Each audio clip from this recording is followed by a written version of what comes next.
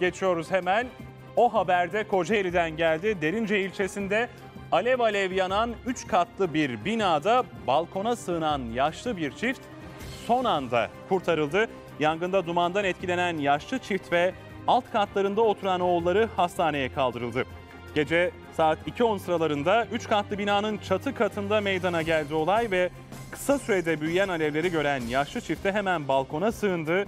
Olay yerine gelen itfaiye ekipleri alevler arasında balkona sığınan yaşlı çifti merdivenli araçla balkona ulaşarak kurtarıldı ve söndürülen yangında 3 katlı binanın 3. katı ve çatısı tamamen yanarak kullanılamaz hale geldi. Polis ekipleri de yangınla ilgili inceleme başlattı.